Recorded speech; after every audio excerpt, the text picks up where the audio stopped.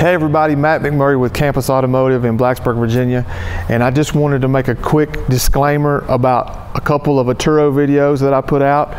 They reached out because they found some factual inaccuracies in both of those videos. So I posted a video up here showing what those factual inaccuracies are and what my explanation for those were.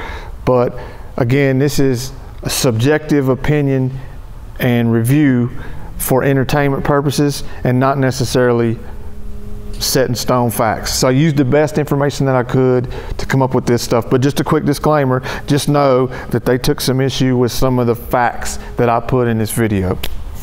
And be sure to let me know your comments below when you see it. Hi everybody, I'm Matt McMurray from Campus Automotive in Blacksburg, Virginia, and today we have the Atturo Trailblade ATS. So inflation's hitting the country hard and the cost of everything is skyrocketing, including tires. So I wanted to look at some tires that were decent and could save you some cash for that $11 gallon of milk. The Atturo Trailblade ATS is a new tire that Atturo has designed to be an aggressive all-terrain tire. The Trailblade ATS is the second tire in Atturo's new Trailblade Sport series. So Atturo Tire was founded in 2009 and it's owned by the Federal Corporation, which is based out of Taiwan. Most Atturo tires are manufactured in China. Federal Corporation has been in business almost 60 years and manufacturing tires under the Federal brand, Hero brand, and now the Atturo brand. A few big retail outlets have picked up the Atturo tire line like Discount Tires, Simple Tire, American Tire Distributors, as well as Tire Buyer. They're also a huge seller for custom offsets in their wheel and tire packages. The Atturo Trailblade ATS was introduced in 2019 at the SEMA show and launched in the first quarter of 2020. The best applications for the Atturo Trailblade ATS are lifted trucks, SUVs, and Jeeps with aftermarket fitments. In fact, Atturo says the Trailblade ATS is focused on the aftermarket. The Atturo Trailblade ATS has some nice features for the price point like 3D sipes for winter traction, small raised bar and the tread grooves to distort noise and help remove debris, tie bars in between the tread blocks to reduce the road noise and help with stability, a large center rib to enhance steering response and tire rigidity, four main lateral grooves to evacuate water and dig into the mud and sand, a stepped edge on the shoulder blocks to evacuate mud and slush, and a sidewall molded in the shape of a quartermaster knife. The Atturo Trailblade ATS carries a 50,000 mile limited treadwear warranty, and I've heard that Atturo is super easy to get a warranty handled. So we're looking at the tread of the Atturo Trailblade ATS.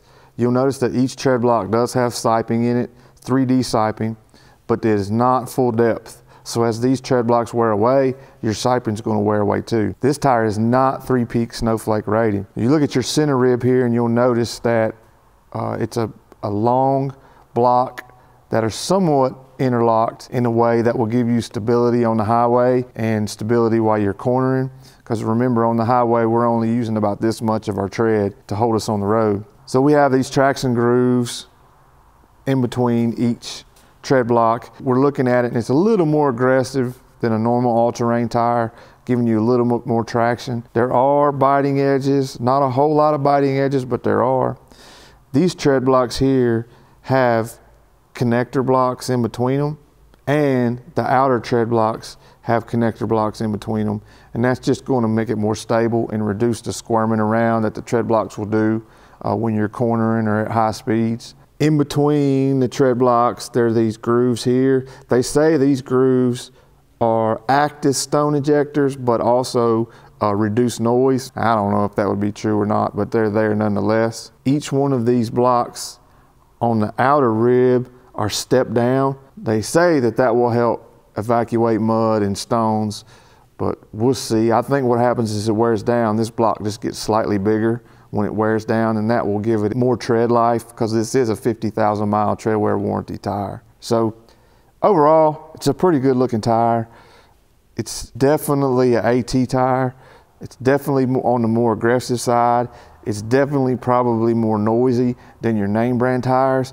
But again, we're looking at tires in a segment uh, that that is in a, in a value segment where you get kind of good looks, but you also get a good value and lower cost to bust that inflation. So you can see these sidewall blocks are shaped like a quartermaster knife is what Atturo said. I tried to look up quartermaster knives. There are lots of them for sale on the internet, but the website itself for quartermaster knives doesn't exist.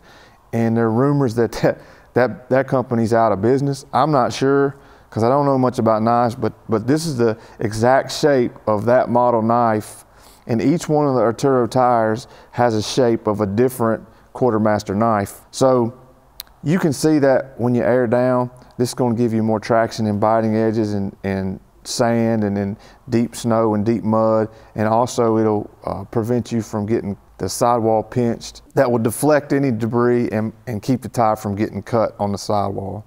We also see this continuous rib here. I would say this is used to reduce noise or it may just be a molding line. I don't know.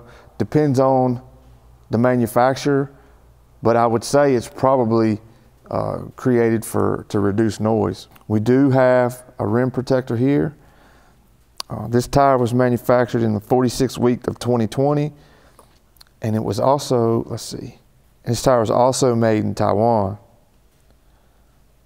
You can see that the way this tire is designed, you can see the Turo name and Trailblade name here, raised black letters, but not too, not too big. But the, tire looks a little bit shorter because of the rim protector and these outer tread blocks.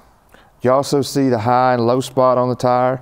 It's odd that this tire, most of the time these two dots are exactly right across from each other, but on this tire they're not. Um, so you either line up the, the dot with the valve stem or 180 degrees from the valve stem, depending on uh, what the manufacturer says.